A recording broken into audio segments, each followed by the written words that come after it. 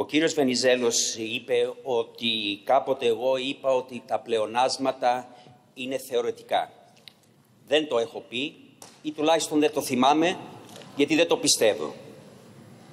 Αν το έχω πει θα τον κεράσω ένα ουίσκι ή το ποτό της ε, επιθυμίας σας. Αν δεν το έχω πει, το ουίσκι είναι το δικό μου το, το ποτό.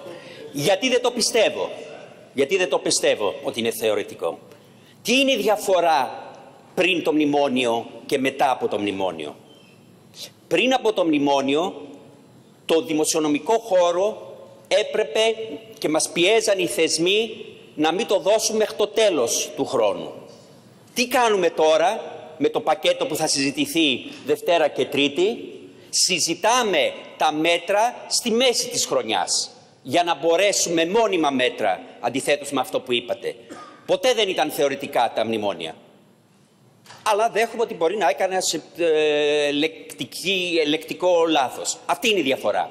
Σήμερα συζητάμε, επειδή έχουμε αξιοπιστία, ότι μπορούμε αυτά να ξοδευτούν και να μην εξαντλήσουμε το χρόνο και να φτάσουμε στο Νοέμβριο και Δεκέμβριο. Αυτό είναι η διαφορά. Όσο για τη στρατηγική για το 20 και μετά, νομίζω δεν την καταλάβατε καλά. Ο ειδικός λογαριασμός είναι εγγύηση. Μπορούν οι θεσμοί, τα κράτη-μέλη να το πάρουν μπροστά, μπορούν να το πάρουν κάθε χρόνο, μπορεί να το πάρουν στο τέλος του τρίτου, του τρίτου έτους, αλλά στην ουσία αυτό που λέμε είναι ότι όταν θα έχουμε ανάπτυξη και θα αυτά τα μέτρα που θα ανακοινώσουμε, που έχουμε ανακοινώσει και θα τα συζητήσουμε τη Δευτέρα και την Τρίτη, μας βοηθάνε να υπάρχει ανάπτυξη για να είμαστε σε καλύτερη θέση για να μπορούμε να είμαστε συνεπείς με τις υποχρεώσεις μας. Εσείς τι λέτε για τα 3,5%? Λέτε δηλαδή ότι θα έρθείτε από την πρώτη μέρα και θα σας πούνε οι θεσμοί και τα κράτη-μέλη ότι θα μειωθούν οι, οι, οι, στόχοι. Δεν είναι δυνατόν αυτό. Εμείς έχουμε μια στρατηγική να αρχίσουμε από το 2020 με ουσιαστικά 2,5 πρωτογενές στόχο. Αυτή είναι η διαφορά. Όσο αν οι φίλοι και φίλες εδώ της Νέας Δημοκρατίας είναι νεοφιλελεύθεροι, θα τους επιτρέψω να απαντήσουν μόνοι τους. Καλό κύριε Πρόεδρε, έχετε το λόγο. Θα σας παρακαλέσω λοιπόν, κύριε Υπουργέ... Στις 13 να... Ιουνίου... Συγγνώμη, συγγνώμη, θα σας παρακαλέσω κύριε Υπουργέ να μην ξαναζητήσετε το λόγο για να προχωρήσουμε. Παρακαλώ. Λοιπόν, στις 13 Ιουνίου... Δεν επιτρέπεται. Ε, μα... Στις 13 Ιουνίου του... Κύριε Πρόεδρε. Παρακαλώ κύριε Πρόεδρε. Στις 13 Ιουνίου του 2018 όπως έχει καταγραφεί στη σελίδα 8.822 του τόμου των πρακτικών της Βουλής, μου απαντά ο κύριος Τσακαλώτος σε σχέση με τα υπερβολικά υπερπλεονάσματα της περίοδου μέχρι το 2022.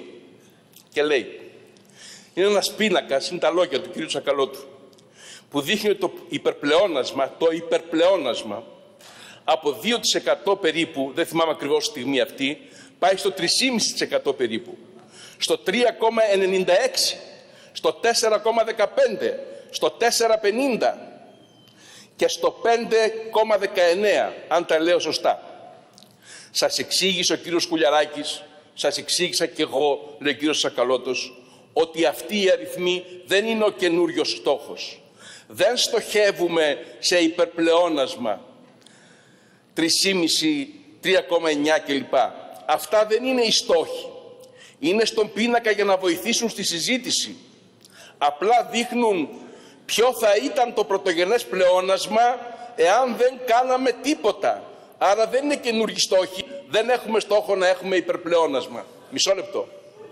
Και φτάνουν και έχουν, σταματή, ακούστε τι έχετε κάνει, και φτάνουν να έχουν ταμιακό, φτάνουν να έχουν ταμιακό υπερπλεόνασμα το 2018 ενώ ο στόχος ήταν να μην υπάρχουν με βάση τα αντίμετρα τα μιακά υπερπλεονάσματα του 2018.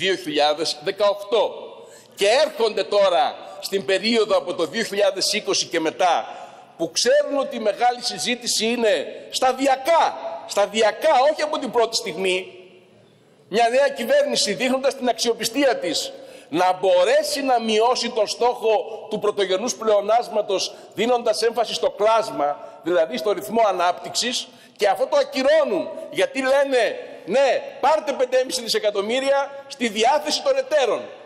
Το 1% του πρωτογενούς πλεονάσματος το έχουμε ήδη συγκεντρώσει από το αίμα της οικονομίας τα προηγούμενα χρόνια από την υπερσυσσόρευση πλεονάσματος. Και λέει ο κύριος Τσακαλώτος, η ανάπτυξη, μα ποια ανάπτυξη; Αυτά τα μέτρα όλα βοηθούν στην κατανάλωση, γιατί φυσικά αν ο συνταξιούχος πάρει το επίδομα που το έχει ανάγκη, που πρέπει να το πάρει, θα το ρίξει στην κατανάλωση. Έτσι στεκόμαστε στο 1,2. 1,9 λένε οι θεσμοί και η Τράπεζα της Ελλάδος. Μακάρι να σταθούμε σε ρυθμό ανάπτυξης το 2019 που να είναι λίγο πάνω από τη μονάδα. Αν δεν υπήρχε και αυτή η κατανάλωση θα ήμασταν κάτω από το 1 σε πραγματικό ρυθμό ανάπτυξης. Άρα αυτό που κάνετε, ο εγκλωβισμός της οικονομίας στην ανεμική ανάπτυξη, στο σύρσιμο, για να γίνεται μια τέτοιου είδους πελατειακή αναδιανομή και μια καθήλωση της κοινωνίας στις χαμηλές προσδοκίες και στα επιδόματα είναι έγκλημα εις βάρος της προοπτικής του έθνους. 30 δευτερόλεπτα κύριε Υπουργέ.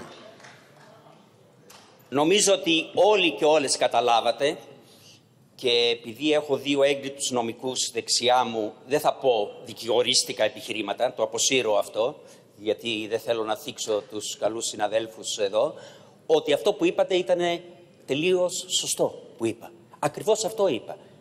Ότι όταν βλέπεις το μεσοπρόθεσμο ή το σχέδιο του προπολογισμού, έχεις έναν στόχο και λες τι θα γίνει αν είναι παραπάνω. Πολύ σωστά το είπα. Με αυτή την έννοια είναι θεωρητικά.